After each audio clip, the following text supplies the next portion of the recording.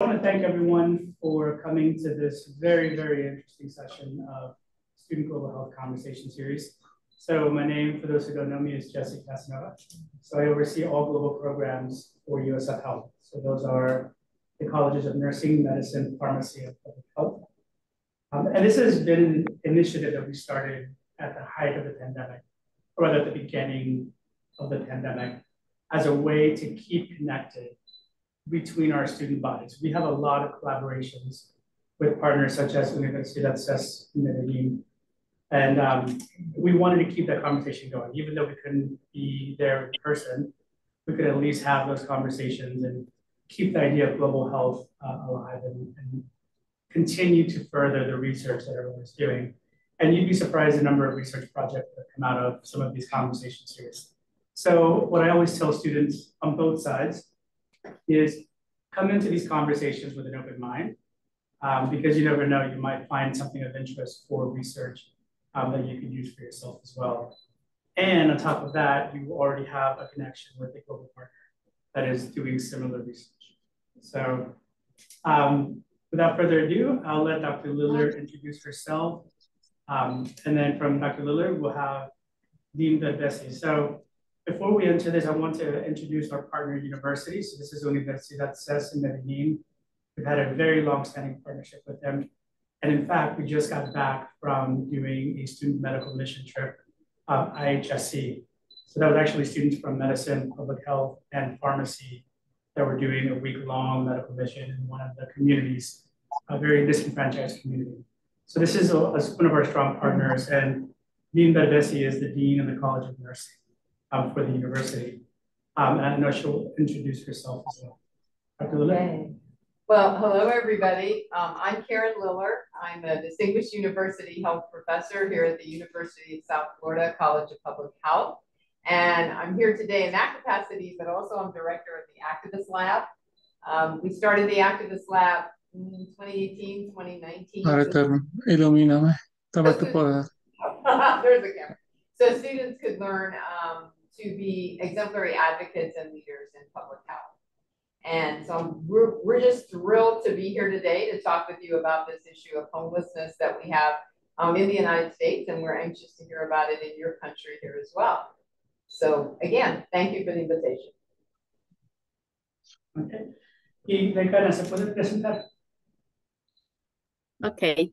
Uh, nice to meet you. Uh, my name is Dex Berbesi. I am Dean in the Faculty on School Nursing in the CES University. I'm very happy for the uh, meeting and is the special for the topic on homeless. Thank you. And uh, Lucas? Okay. Can you hear me? Yeah.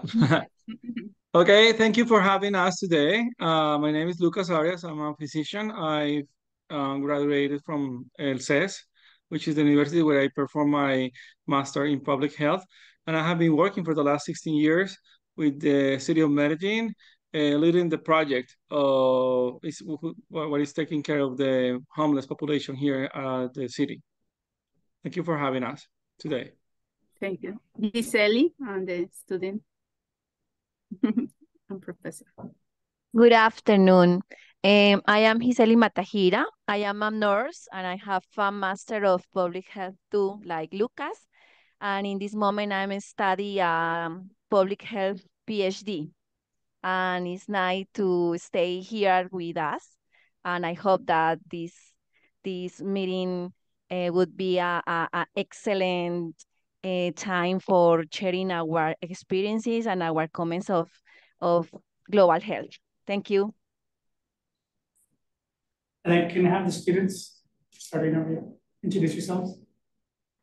Hi, Marion. um, hi, I'm Michaela. Yeah, say say what year you're in. Um, second year MPH student in epidemiology and global health. And I'm Michaela. I'm in my last semester of the MPH program, uh, concentrating in global communicable disease. Hi, I'm Madison. I graduated with my MPH in December. I was concentrating in health policy and programs. Um, I now work under Dr. Liller with the Activist Lab as the program planner analyst. Hey, I'm five. I'm a first year MPH student, and my concentration is epidemiology and global communicable disease. Hello, everyone. I'm Jenny. I'm a sophomore majoring in health sciences and administration, information technology concentrations, and I'm also a member of the What's the matter?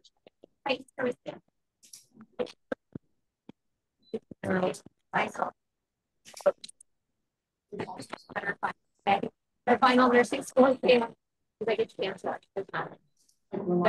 Rolando, Minnie. They're also on. So if you're, if you're Hey, student, baby. Can you introduce yourself? Hey, baby, I got it, by the way. Said I got it. You got it? You Yeah, got I figured it out, like when I was in the bathroom, because I had time to like, So if you're students online, can you quickly unmute yourselves and introduce yourselves? From USF, I mean USF students online. USF, active. Yeah. Hello, everyone.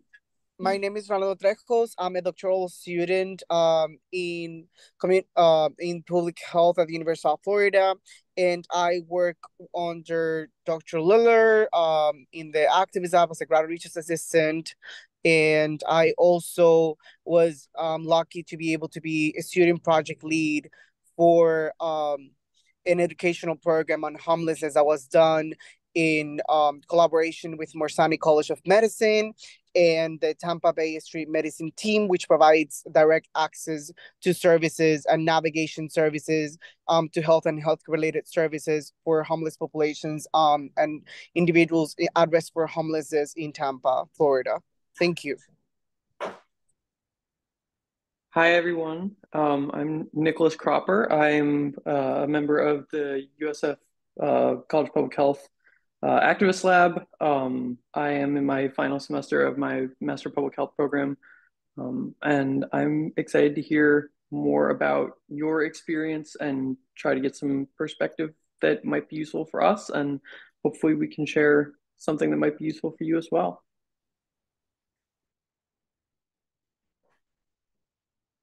Okay, thank you, everyone. And so Dr. Liller will uh, start her presentation. Can everyone see the PowerPoint slides? You see them, or did you want me to? Uh... Yeah, I'm done. Okay. Okay. Oh, well, very, very good. So um, tonight we're going to talk a little bit about this homelessness situation. And as Rolando said, he um, did work on this project uh, with myself and also with Dr. Joe Vaughn here at the college and with other um, students as well. Um, as we dealt with the seriousness of this issue, we've also, we've also had some uh, things we do called Find Your Voice seminars where we've had experts in this area come and talk as well. So we're excited to bring you the information. We're even more excited, I think, to hear your take on all of this as well. So first of all, the Activist Lab. Um, I don't want to take a lot of time um, with that. I wish we had more time, but see if this is going to work. Um, just wanted to, to tell you a little bit about who we are. This is our website. And um, as you can see, I'll just start here. This is a little bit who we are. Um, Madison introduced herself. We now have two graduate students that work with us, uh, Rolando, as well as Farshid Faizi, who just started, and our administrative assistant, who couldn't be here today, but um, she's not feeling well, but uh, KY. So that's pretty much the group. But importantly, our student advisory board, that's kind of an older picture. We have to get a new one up there, but we have about a 10 to 12 member uh, student advisory board that really is, I think, the heart of the Activist Lab because they are the ones that work with me directly along with Madison and, and Rolando and Farshid on, the direction we're going to take, the topics we're going to do, and um, how we're going to explore these. And some of the ways we do this in the Activist Lab is we do it various ways. We have a podcast called Advocation Change It Up. And uh, I'd love for you all to be uh, listen to our podcast. We tackle many important topics. We just did injustices among marginalized groups. We have one coming up on the Medicaid issue here in the United States, which is a real problem now after COVID. And um, many issues we do, uh, we've done structural racism, Um, we've also looked at issues related to everything from sexual assault to motor vehicle injuries to all kinds of things we've done. So hopefully you'll take a look. I'm the host, but I always have a student co-host as well with me. An exciting new project we have now is called Adopt a School. Adopt a School is where we're working with students in, in uh, middle school and in high school to really teach them about advocacy early so that they get the message about advocacy. There's no magic to advocacy on these different topics once you get to a university level. You can start very, very young. And so we're teaching them the ropes and they're working on some projects right now. We have Find Your Voice seminars, and our last one just happened to be on homelessness. Uh, Mr. Antonio Boyd Bird did a talk on homelessness in Tampa and things that we can do to advocate for change. And so you can take a look at those. We just did a public health in a minute. So if you only have a minute and you want to learn about a topic, hit that. And public health in a minute takes you one minute about what somebody's passionate about and what they're advocating for. And we have professionals in various areas that have done that, including our dean, uh, Dean Donna Peterson, who advocated for voting as the most one of the most important ways to advocate. Our lunch and learns are really developed and hosted by students uh, on the board about different topics where we do literature review and we take a look at a topic and then people come in with Q&A sessions. Well, one of the largest things we do and the one that really um, keeps us up at night worrying about, at least me, is the Activist Lab Boot Camp. This is a one-day full event where we immerse people in topics of advocacy. And not only that, people get the opportunity to prepare opinion or briefs about an issue and that is critiqued by advocates, attorneys, people who've been in the House and Senate. And so it's, it's quite a day. And now we've turned this into a course as well uh, for continuing education credits. Activist Lab on the road. Activist Lab is on the road where students said, we'll take, hey, we'll take this and we'll go on the road and we'll find issues and people they can talk with and how they're advocating. Michaela's here. She did our last one about a really important project that she was successful with her and her group um, to, there was some zoning issues uh, and they were successful in keeping some developers out of a very pristine area. And so uh, she was very successful at that. So that's just some examples of things that we do. We also do research. Uh, we've done a variety of research topics. We've worked with the University of Pittsburgh on some epidemiology topics. We've been funded by um, the APHA action grants. We've been funded by Research America to tackle these projects and often to prepare briefs or to prepare podcasts and things. So the students are afforded many opportunities as they work with the Activist Lab. Ellen Kent is here. She runs the USF Health uh, Shared Student Services. And basically what she does is wonderful because she allows the students to really partner with so many people across USF Health which is nursing, medicine, physical therapy, pharmacy, many different areas. And so we get to work with them in the USF Health Service Corps. Um, there's so many other things we do. We work with the Guardian Ad Litem program, which is the voice for students, uh, no, I'm sorry, the voice for children who are in the foster care system. And it's their voice in court. A guardian works with them and is not a parental guardian, but actually is a guardian that advocates for them in terms of whether they return to their family or they stay in foster care. There's the Moolah program, which is a program where I pair students with agencies so that they get immersed in that experience and many other things that we do. And let's see, we've won a few awards every now and then. Um, we win, uh, we've won the Civic Engagement Award, the Action Award. We've done a variety of things that we've done. and if you want to know what we're up to, if you look at our calendar, our calendar of events. You can see when we do seminars, when we do outreach. We have a board meeting every week on Thursday at five o'clock. And if you ever want to join us here in Tampa, it is done usually virtually. We have one meeting a month where we meet in person. But please join us. You know, please join us, and uh, you can hear about all the stuff so that is a little bit about the Activist Lab. We also have resources if you want to learn more about advocacy, you want to learn more about, we still have our COVID-19 resources up there, still important, still an important issue, violence and self-care resources. So that is the Activist Lab, and I just wanted to take a few minutes to share with you who we are and uh, what we do. All right, so let's talk about this homelessness issue, why we're really uh, here tonight. Just wanted to share with you that on any night, nearly 600,000 Americans are what we consider homeless or unhoused. Okay, now the issue with that is yet, though about 30% of people though without homes, this is not a new situation. They've had chronic patterns of homelessness, which means they've been without a home for more than 12 months, or they have experienced extended periods of homelessness, maybe not consecutively and consistently, but still enough over the past three years. Now, 60% of individuals who experience homelessness are male. However, we're seeing an increase in cases rising by 5% or more among women and girls. Where we have found a lot of progress in the United States, I think with homelessness has been among our military veterans. We've really tried to reach out. It's not perfect by any means, but I think we've done a lot of efforts there. But we have so much more to do with different population groups. Homelessness, let's take a look at Florida. We are the third largest state with the number of people experiencing homelessness. So Florida is a large state. In 2022, there were nearly 26,000 such individuals. So one of the things that hopefully Rolando and others will address is how do we view homelessness? You know, what do we do about it? Basically, we like to look at this more in what we call a socio-ecological lens, where we look at not only the person who finds themselves experiencing homelessness, but we look at also the relationships that they're in, or we call interpersonal.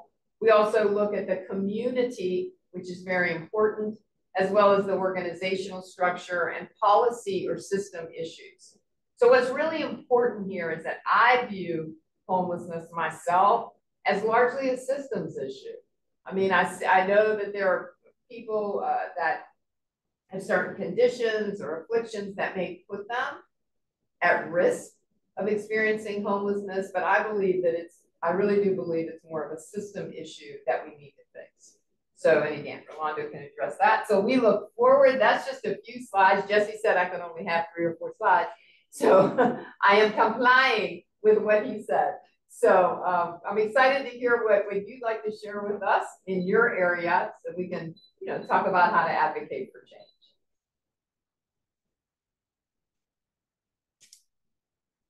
Okay, so Dean, uh, let's see, if you, if you have a presentation, you can share. Okay, I continue and the first Lucas. Okay.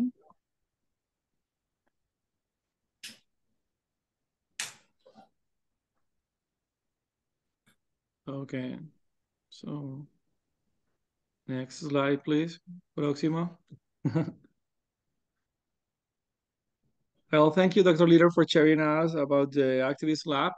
Very interesting what you are doing in your state. Well, here we have the, in the this slide in the top, we have the banner of uh, the address of the DANE, which is the National Statistics Department of Colombia, that has uh, performed the census for the whole Colombian population.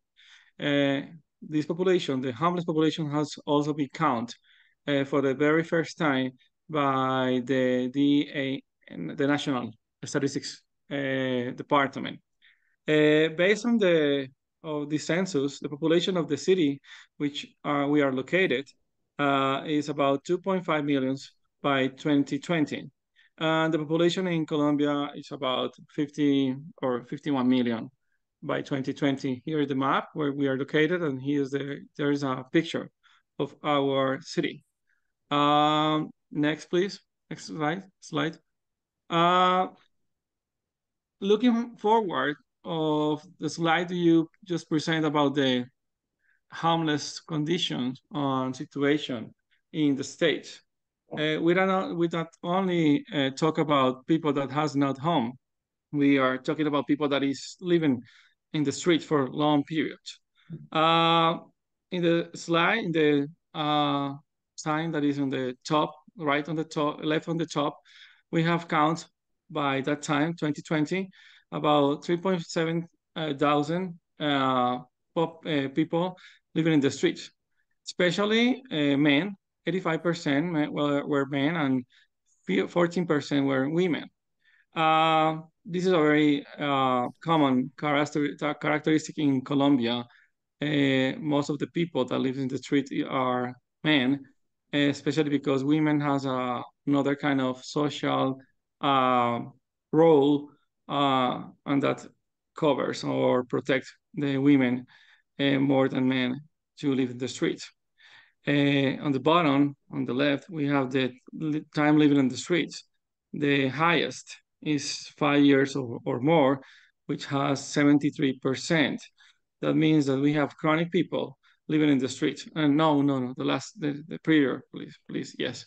And if we see the main reason for living on the streets, drugs is one of the common uh, issues that the people uh, establish that has the cause um, due to they uh, went to dwell the streets. Drugs by 30% and domestic violence by 28%.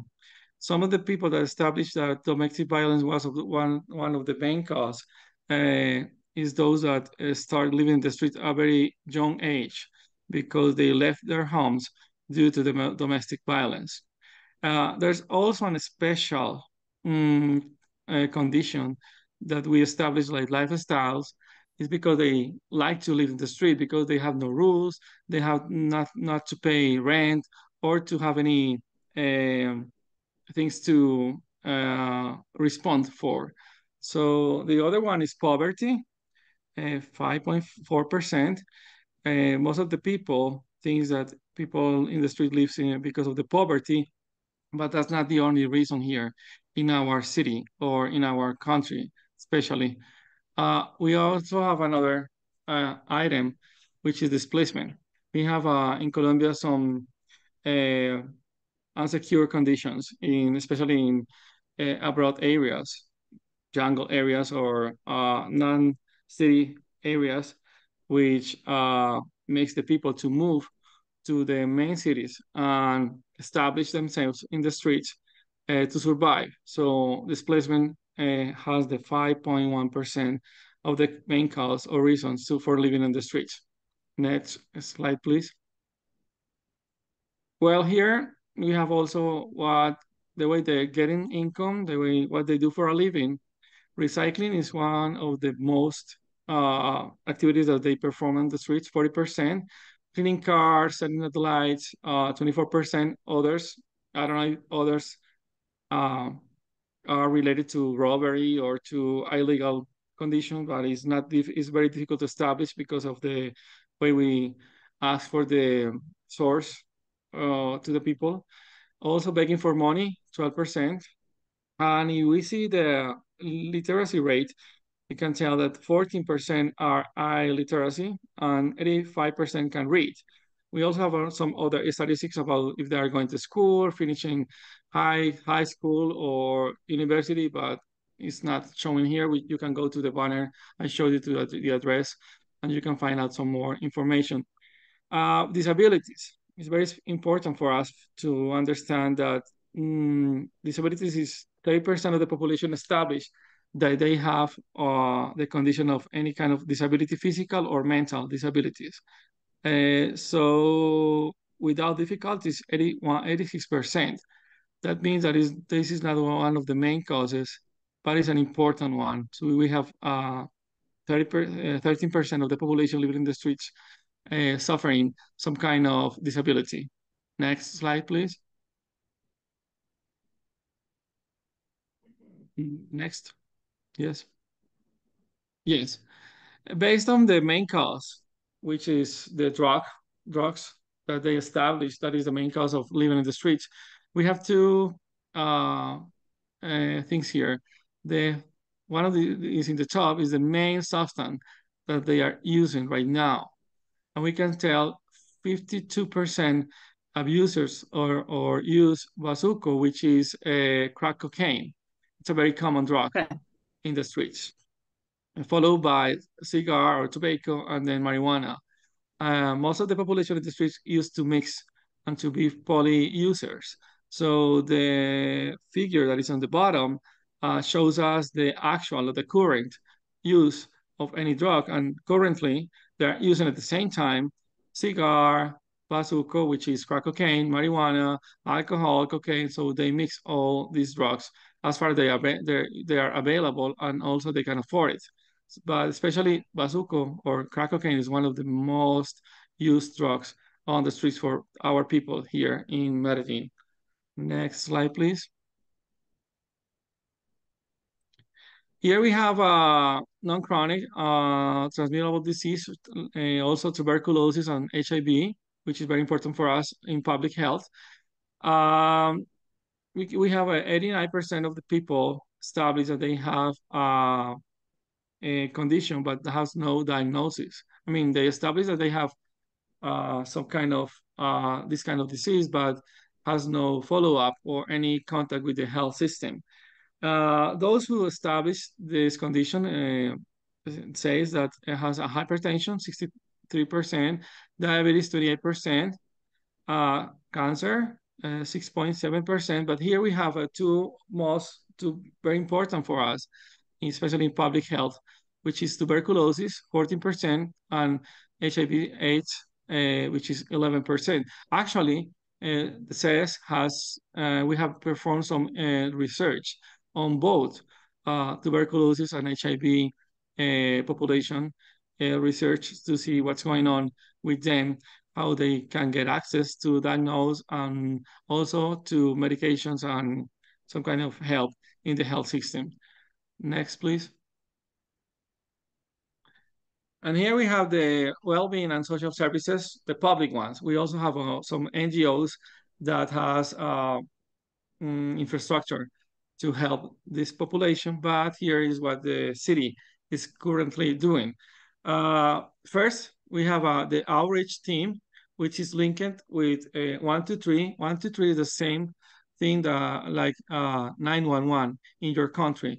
So uh, any person can call to 911 and to um, demand or to establish that there's there is a person suffering on the streets uh, having seizure, having uh, some poisoning or intoxication, or uh, if they need any special needs.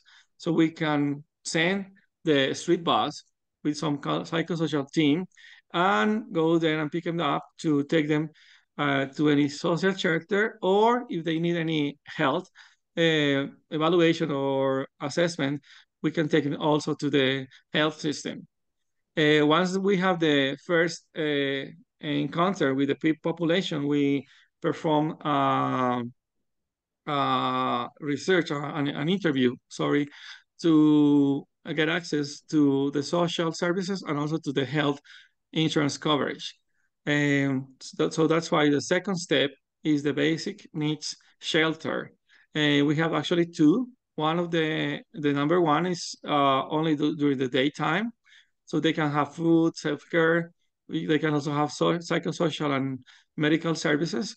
And the second one is open 24 hours and they can get access to, especially to dorms and all of the other services I just told.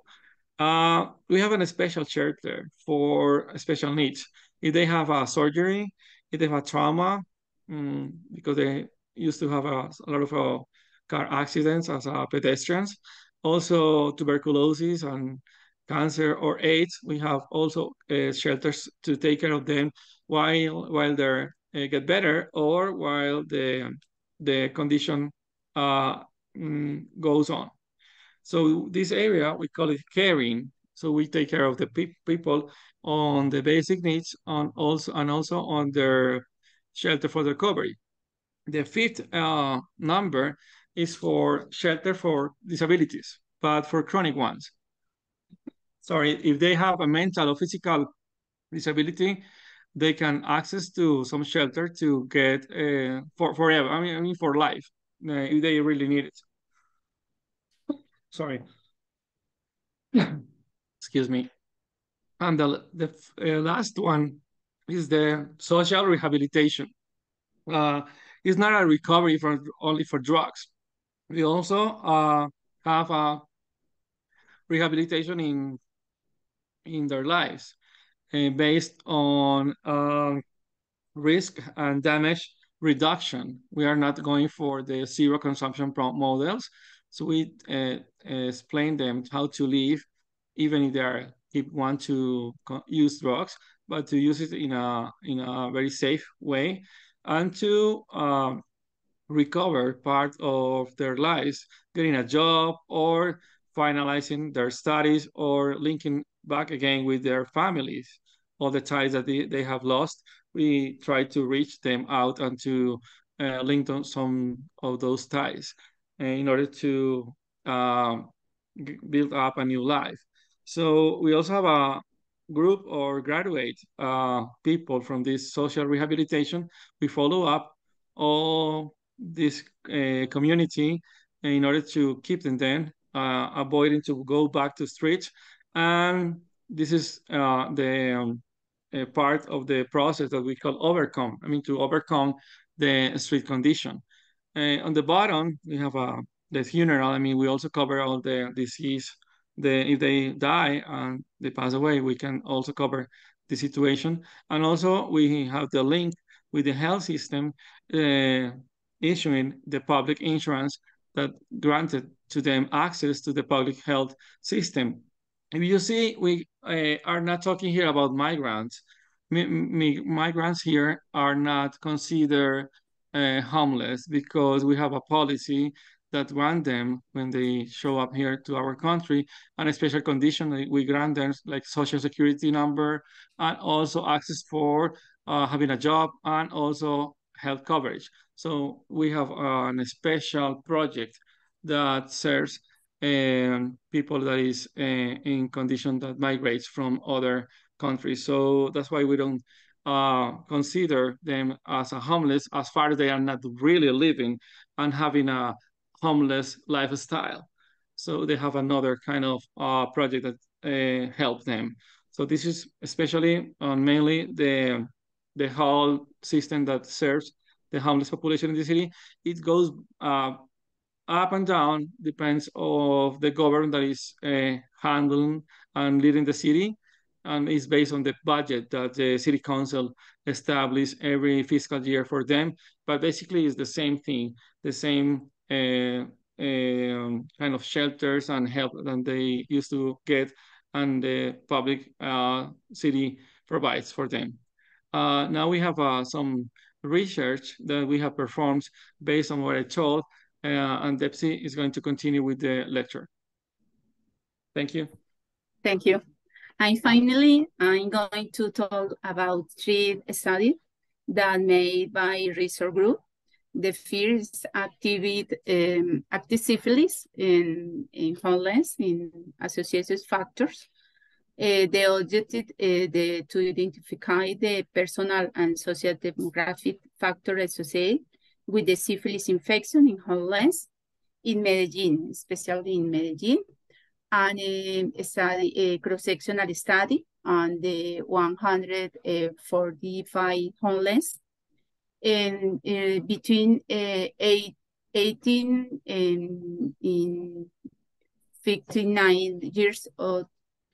And the result and the principal, uh, the main, the syphilis infection in homeless people was the 27 uh, person, um, the people with greater risk adquired syphilis infection, were uh, women is the principal the factor and single people and the, uh, the Lucas um, tell the bazuco consumer is the, the principal, the uh, drug illicit for the homeless and the, we previous diagnostics of syphilis. And the conclusion, I, I highlight that expected presence of syphilis in homeless in Medellin. Uh, the factor associated, repeat, the women, single people, bazuco consumer, and the uh, people with previous diagnosis on syphilis are the most uh, predisposed individual adquired the infection. The second, the other study, the factor associated the uh, perception, the health status on group the homeless in the same in Medellin. Uh, other cross-sectional study um, the analyze the, difference um, uh, associated the statistic. Uh, the result, uh, 300 uh, street, uh, the homeless. Uh, the principal result, uh, uh, 80, 82 uh, were males, and the same uh, the other uh, population, the homeless, the principal males. And uh, the conclusion was held uh, was associated with the begin having has the alcohol accidents uh, and physical pain or specific discomfort. Uh, what is the relation with the uh, health system was common to both. In the first, the other uh, study, uh, HIV vulnerability, is the concept, uh, the principal, the with the homeless, the people, the the principal result for factors, the the first, la factors is sociodemographic variables including age, gender, civil status, and education level. And conclusion on the HIV vulnerability is the uh, defined uh, as the reduced ability to anticipate uh, anticipate the novel and erroneous belief and resist the sexual practice and drug usage is the community, the sexual practice and drug usage is the, the main problem with the homeless and recover and social support and rejection is the uh, low the uh, social support for the homeless in Colombia and the Medellin, and which limits the ability to accept and HIV prevention, attention, and support services. The, the, uh, the main uh, result for the homeless in Medellin and three studies. I other studies, uh, the, the research group, but is the principal for the activity today. Thank you.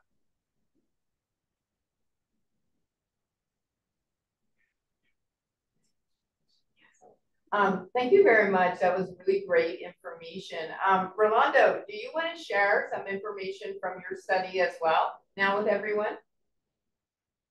Yeah, of course. Um, so what we did in our study was mm, we first started working um, around 2021 um, Dr. Joel Bond and Dr. Liller and Dr. Um, Lynette Menezes, professors from both the College of um, Public Health and the um, Morsani College of Medicine, um, wanted to um, work and focus on what could be done to educate health professionals uh, around the needs and the complex needs and realities of homeless individuals and populations in Tampa. And the first thing that we did was we came back to the literature and developed a curriculum and educational um, program for um, students and faculty and staff in USF Health.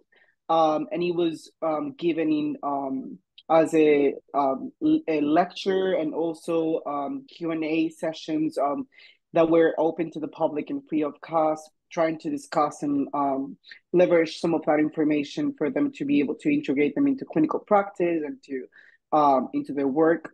And then after that, we saw that there was a dearth of information regarding homelessness, um, especially when it comes to um, homelessness issues in urban cities. So therefore, we conducted a scoping review um, of 49 um, articles that were um, then completely screened and synthesized. And the main um, findings from that scoping review was uh, the multiple layers of complexity of the needs of this population. And that refers back to what dr liller was saying when she was speaking about um, the social ecological model. That was exactly the model that we use to um, describe the results of the scoping review. And on top of that we were lucky enough to have the um, morsani um, college of medicine with us because they also provided um, a full overview of the homelessness situation in Tampa Bay um, it, during the onset of the COVID 19 pandemic and how um, community based partnerships um, with religious organizations, um, like were presented by um, Dr. Arias in Medellin that have played a crucial role in leveraging those kind of services sometimes that may be limited from a public sector. Um, they, we were able to connect to them and then um, be able to have them join us in our um, project and um, join us in our initiative. And at the end, that resulted in presenting our results to the Florida Department of Health which resulted in the creation for a homelessness caucus for the um, uh, for Hillsborough County, which is the province uh, in the state of um, Florida that we are at. And um, it was just a, um, a tremendous um, collective effort in which everybody got the opportunity to learn a lot from each other and like just um, support each other for helping um, this community.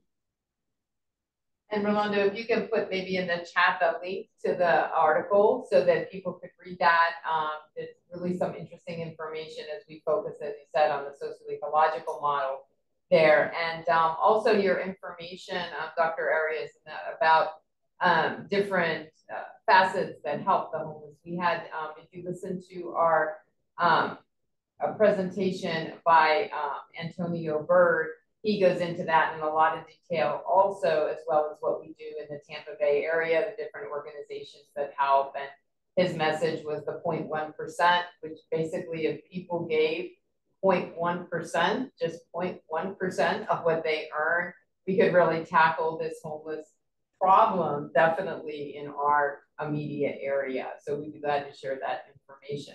Um, I did have a, a request from a question um, could you all address um, uh, the effect of the Venezuelan refugees on the homeless issue um, in your country? And that's for Dr. Dr. Arias or uh, the Dean.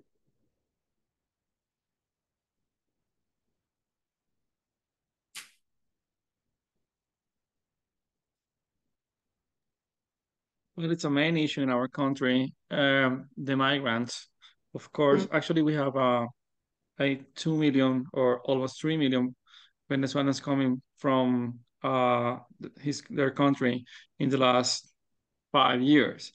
But we have a special uh, uh, visa for them mm-hmm. that has uh, granted them some uh, access to job and to health access and also for uh, housing and everything and special programs. So uh, we also have uh, not only Venezuelans, but also people coming from Brazil, Argentina, and even Africa that are trying to cross the border and to go up all over Central America to get into the United States. But they're stuck here because they uh, have no money or because they also get involved in drugs uh, problems. So as far as they are living in the on the streets and they have no uh, network like family or someone that has support and can support them, we uh, consider them as homeless and we provide them the health benefits I just show you as the shelter and all the rehab programs. But based on uh, on the um, Office of uh, human rights that we have in our cities. We cannot treat them as a homeless uh, indeed. I mean, that as that is the last condition that we can uh, we can treat them. So if we are going to provide them some help, we need to really uh, establish that they have passed by the whole process of getting the uh, Colombian ID, the special ID that they are they has been, they have been granted, and they have uh, the access for all the benefits like housing, health, and job access that the government has. So if we have all these uh, steps um, passed by, and we can demonstrate that they have uh, no family or they have no skills to afford a house or to get a job, or they are they have uh, conditions, mental conditions, or any other kind of disability or difficulties to get along with others and to get a job or to, I mean, to assume their lives. So we can take them and we have uh, the same benefits. But it's not, uh, let's say, it's about 5% of the population of the whole homeless population that we have in our city that has another nationality and not only Venezuelans. Because as I challenge you, we have also people from, coming from Argentina, Ecuador, Peru, uh, and also Africa. So it's not um, a condition that makes them to become homeless. Uh, probably they don't have a real home. I mean, they don't own their own home, but uh, the government provides them uh, homes uh, in special ways um, for rent or with some kind of like Project Ocho, uh, Project 8 in, that you have in, in Florida, uh, probably in that way, but it's not considered like a real homeless as, as far as they are not living in the streets. And there's another thing, we don't have a, like families dwelling in the streets. We have uh, people, single people or little uh, uh, groups or people because we have another uh, law that does not uh, allows us to have children on the street. So all the children has to be protected by the government and they take the children to the shelters to reestablish their rights and to get into a process to recover uh, or the families or to get uh, into the school process. And so we don't have, potentially, we don't have our children dwelling on the street because they are uh, under the social services uh, uh, procedures.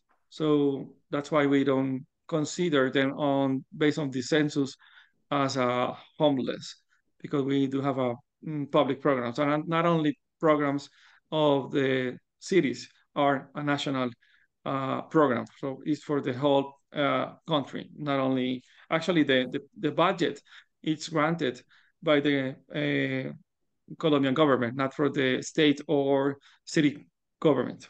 Okay. I don't know if I answered your question. No, no, that's great. That's great.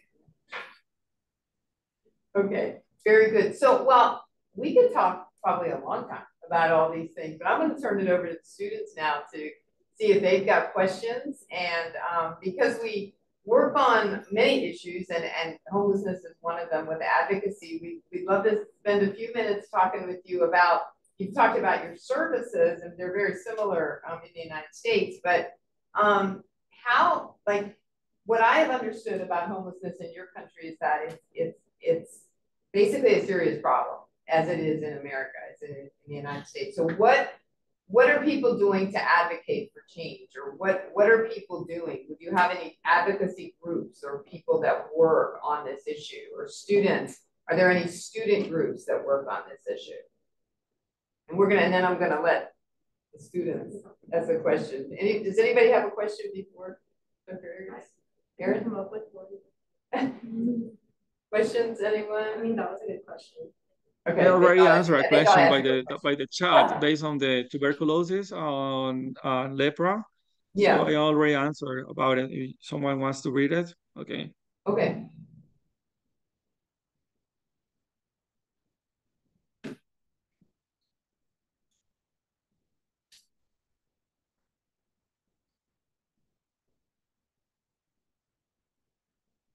Yeah, we well while we're working on that, Michaela, yeah, you got a question. It was not a question, it's an answer to oh, like stuff that we do here.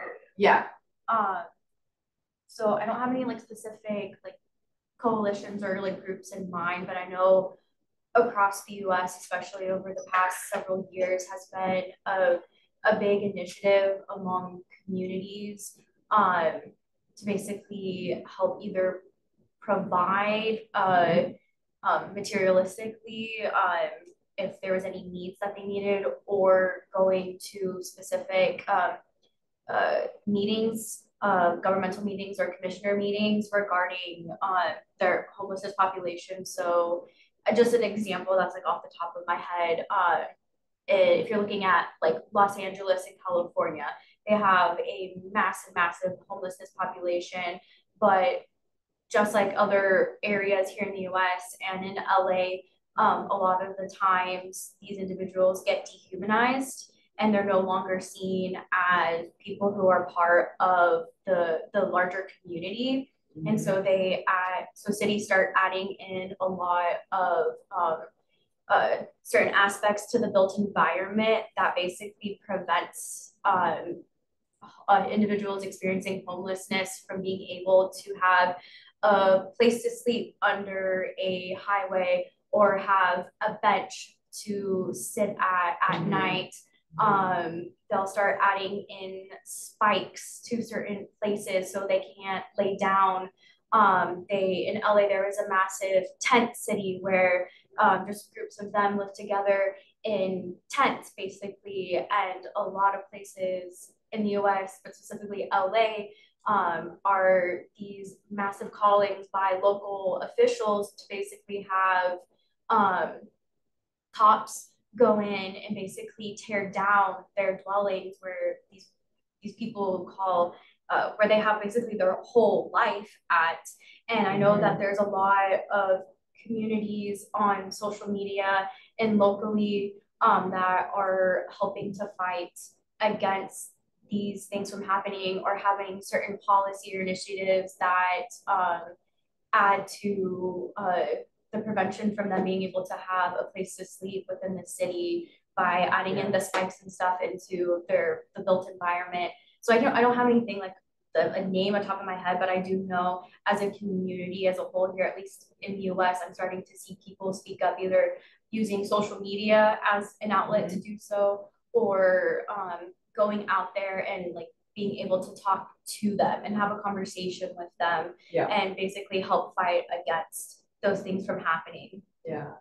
Yeah, I think that's I think that's good. Um, we also had in in the paper that um, I worked on with Rolando, which had Tampa Bay Street Medicine, you know, that was out there helping people right there on the street. And we have so many other services here, you know, um, Metropolitan Ministry, so many, so many homeless groups. And again, if you go to um, Antonio's presentation, you'll hear all about that. But certainly in the United States, um, it's it's a really serious problem. As Michaela was saying, um, there are people that um, you know these kind of services, as she was saying, they they don't want them. I mean, they, they to put it bluntly, they just don't want this in their community. They don't want home people experiencing homelessness around. Um, I'm careful with my language as I was corrected by Mr. Bird because he doesn't say homeless people. It's because that labels people. So it's basically people experiencing homelessness, which I think is a is a better term there. Um, they don't want to be home. I mean, I don't know anybody that wants this, um, but certainly, um, you know, I think the numbers are increasing and not quite sure, you know, all the help and services. That's why I brought it to a systems issue because I think this is important. You know, as he was saying, the 0.1% of income money. I mean, money is going to help a lot of this. I mean, with services, with programs, with things like that, that, that we can do in the United States. So we're just curious, some of the things you all are doing, you know, um, I thought were pretty good, you know, that you're protecting a lot of the members of the uh, people experiencing homelessness, the children and things such as that. Whereas I can tell you that you know, um, I wish we did that better in the United States uh, in terms of protecting children and other real vulnerable groups that, that do experience homelessness. So, so what we're trying to do is, is really try to work on these issues here, you know, continue on with the research, maybe do some projects, and, and we'd love to, you know, maybe, uh, does anybody else have any, any questions or things? We'd love to really partner with you all in, in these efforts. I know um, Rolando, do you want to speak to anything about that with the group? Yes. Oh, yeah. just before we get to Rolando, just a minute. Eric. Yeah, um, so I'm actually currently working on a paper about like homelessness with a um a group and we did a whole like community assessment of the resources right. in Tampa. Um, and they Tampa has currently has like a continuum of, of care. Right. So there's a lot of different organizations that all just work together on the homelessness issue.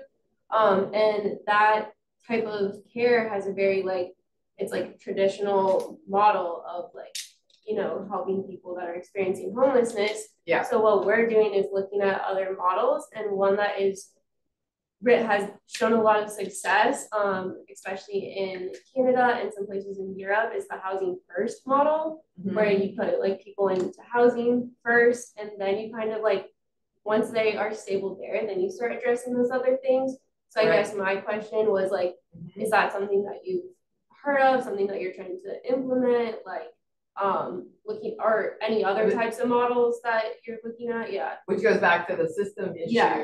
Dr. You know, we were talking about housing, she's saying is, is in, you know, different uh, countries on housing first, because we believe, we believe that, at least I, I think from the research and, and I think a, a lot of folks believe that, and again, I'm gonna bring Rolando back in, but basically, this is, I think that's so important, you know, we know that housing and education are two of those social determinants of health that really are quite protective you know, for individuals. And so, so that's one thing is we look at why isn't there enough housing and why, why, why? You know, I often ask, you know, in the United States, why, why do we, why do we continue to have, continue to have this issue? And I think a lot of it is a, it is a problem when you give people waivers, as we learned in some different lectures, where you think, oh, this is enough money for them to get into housing. Well, they give them a little bit of money, but the housing costs now in Florida um, and in the United States are are are just out of this world. I mean, to to afford anything. So even though they may get a waiver, a small amount of money from the government in the United States, it's not going to be enough for them to get into housing, far less sustain housing. So you know, so we've got that issue. So when, you know, people, organizations say, yes, we've provided this or we provided that, well, really, you know, but can they use it? You know, I mean, is it usable for people experiencing homelessness? So, so I think it's a, it's a huge issue. And as I said, if you got to look at all the levels, you have to look at individual problems, as you all, you know, really well said about the different conditions that people experience homelessness have and and and as you learn about them. But I think we also have to look larger. I think we have to go up from that, you know, look into the to the more systems issues. So anyway, Rolando, do you want to uh, say anything about that? No, yeah, um, 100%. I, I think that Erin's question is um, fantastic, and, and your comments are definitely on point, Dr. Liller. Yeah, really no, my in well with what we were yes, my my question was going to be more regarding.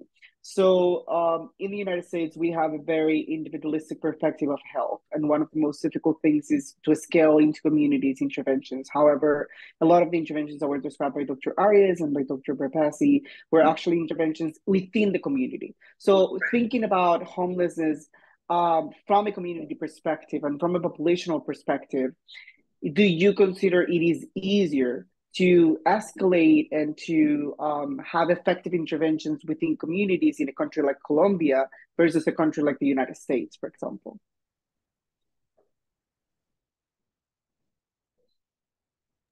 Um, first of all, we need to understand that there is the same problem, but we have different uh, issues, issues or causes. Uh, for example, Housing First is one of the most globally most known uh, strategy for con, for homeless um, yeah phenomenon. But in our country, we have a lot of people that has no house. I mean, uh, a lot of families that cannot afford a house.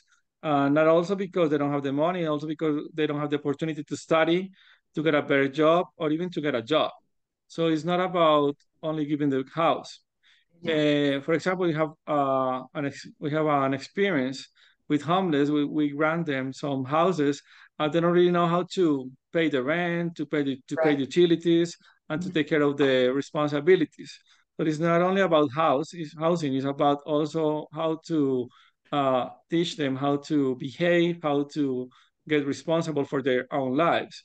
Uh, if you go uh, for the communities, um, rehabilitation based on communities, that's a good uh, strategy, I, I think, for everybody, as far as they the community understand that there is not only what cause. If you uh, have a drug problem, you can go to rehab and then do something else. But it's not only about drugs, it's also about uh, better education, opportunities for having a better job, or to uh, overcome some kind of uh, traumas or mental or physical disabilities.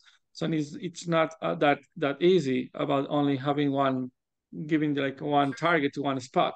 Yeah, you need to uh, consider the phenomena as a whole, and you can cover some special needs or basic needs while you are trying to overcome the condition.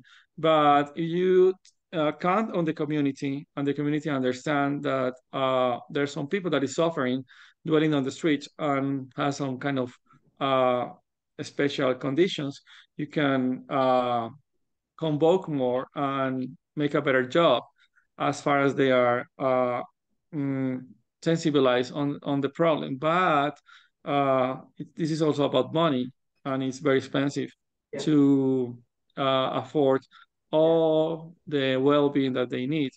Actually, if you have a, a person that is uh, not taking care of their, their health, their, their chronic condition will rise and rise and rise, and they are going to get into ER not only for uh, hypertension, they are only have that now they will have a stroke and a lot of uh, uh, bad things due to their main condition that has not been under control.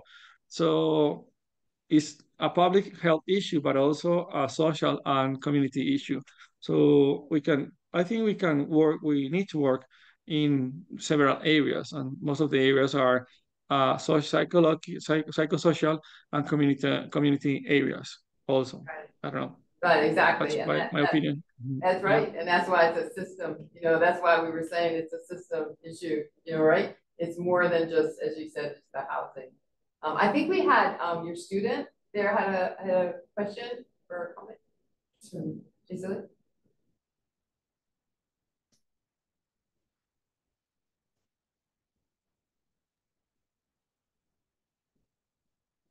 Hi.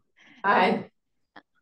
On the other hand, I think that it's important to think about the the kind of relationship of people.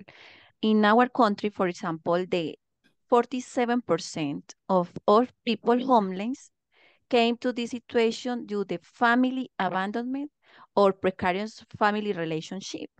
And our countries have different contexts, but I think that uh, maybe uh, a cause, a cause that have a uh, similar maybe is the kind of relationship. I think that is very important to think, to study these these mechanisms that maybe uh, will came to all.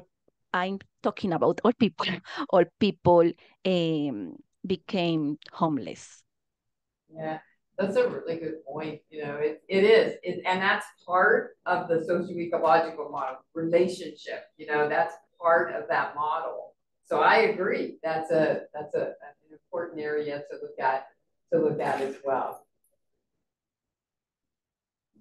Okay. There we go. Yeah.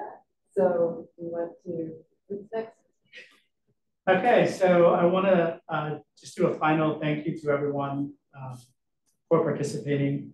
So this has been a very, very interesting conversation to be able to understand the complexities of homelessness and some of the root causes of those can be quite different in each country.